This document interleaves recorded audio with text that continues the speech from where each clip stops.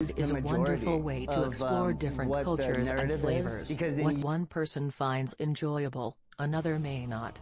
If you call people who don't eat spicy stupid, so are you.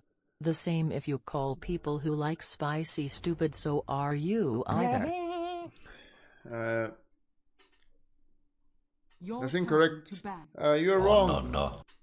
Because the reason Uh, spicy food even exists, the reason spicy food exists is you gonna give because people who are struggling in poorer countries, they are forced to eat the entire animal. In the West, we are allowed to eat the good parts. Just, just don't repeat your last game, okay?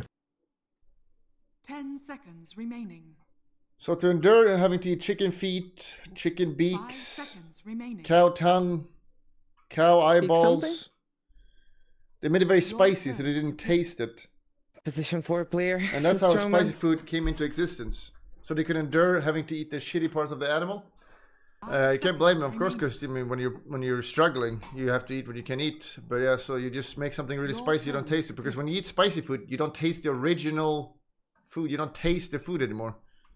If you eat chicken, it tastes like chicken. If you eat spicy chicken, it tastes spicy. It doesn't taste anything. Uh, that's why the origin of spicy food remaining. Exists. Hopefully that helps you out. That's why people still eat spicy food when they don't have to are stupid. Remaining. Uh, in the West, we have salt. Uh, salt enhances food. Uh, spicy removes the flavor. Salt enhances flavor. Spicy removes flavor.